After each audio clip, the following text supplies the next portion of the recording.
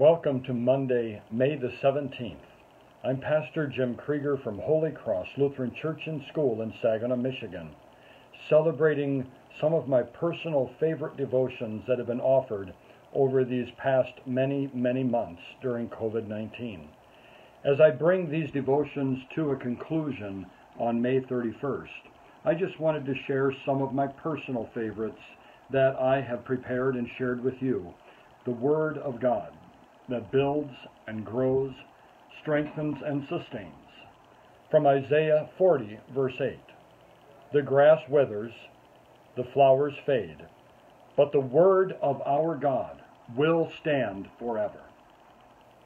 In the Bible, the Lord God, who is the author of all the Scriptures, often used comparisons and contrasts when teaching his divine truths. When it might appear to us that the Lord God is often repeating himself, it is because he is emphasizing the importance of his teaching, and we would do well to not only listen to his word and teachings, but to daily read, mark, learn, and inwardly digest all that he reveals to us in his word to guide and correct us during this temporary life on earth. In the first 39 chapters of the book of Isaiah, the prophet warned God's people about his coming judgment because of their many sins left unconfessed and unrepented. The prophet wanted to strenuously encourage them to turn, to repent, again, to turn away from their sins, turn back to God, listen to Him, and live according to His words. Many people, however, in the nation of Judah soon faced many years of captivity in Babylon, as well as exile from their homeland, as God allowed, once again, a foreign nation to conquer his people, to lead them to lives of confession and repentance.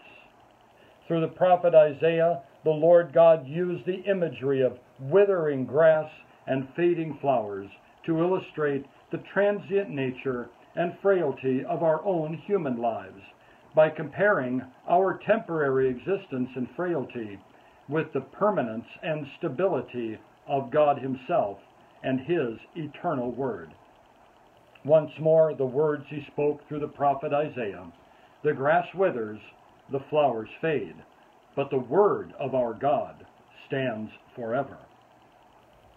We can understand this imagery and comparison, especially during this springtime of year when there are so many forms of plant life on the earth that are new again and filled with bright color and life.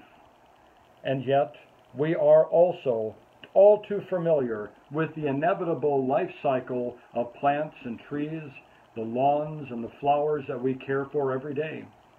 Under the scorching heat of the summer sun, and even during times of drought, the grass withers, and eventually the bright colors of spring that we see in the flowers begin to fade away.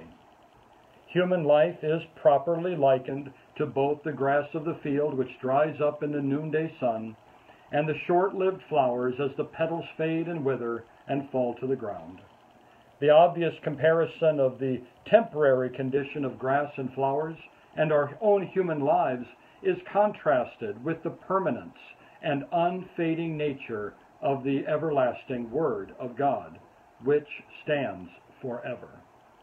The Word of God not only refers to the Scriptures, which are God breathed, meaning inspired and given by God Himself, but the Word of God is also the living Word, as we learn in John 1, the second person of the Trinity, the Son of God, our Lord Jesus, the incarnate Word of the Father, His Savior sent for sinners.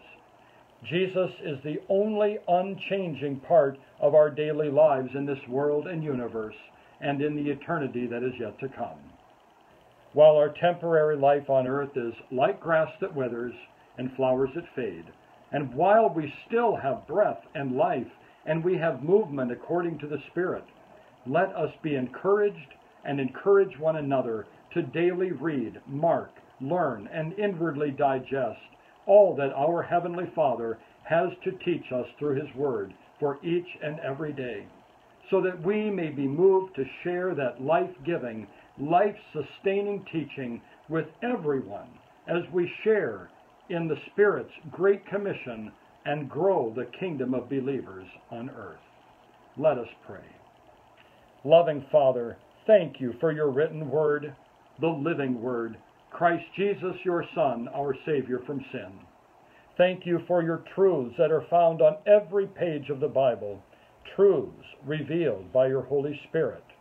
Thank you, Father, for your grace and mercy for all sinners, since we are but grass that withers and we are flowers that fade in the heat and temptation of our sinful nature.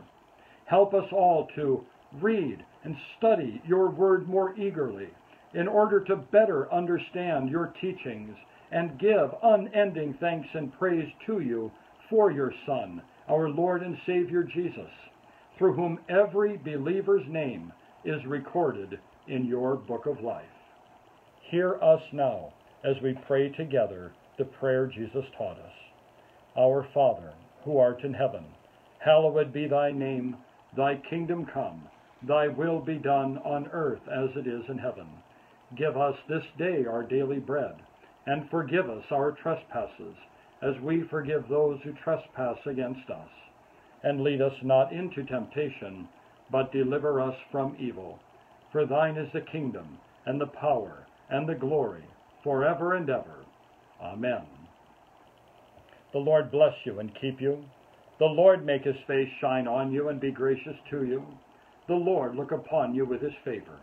And in the name of our risen, ascended Lord Jesus Christ, give you peace. Christ is risen. Christ has ascended. We give all glory to him alone. Amen.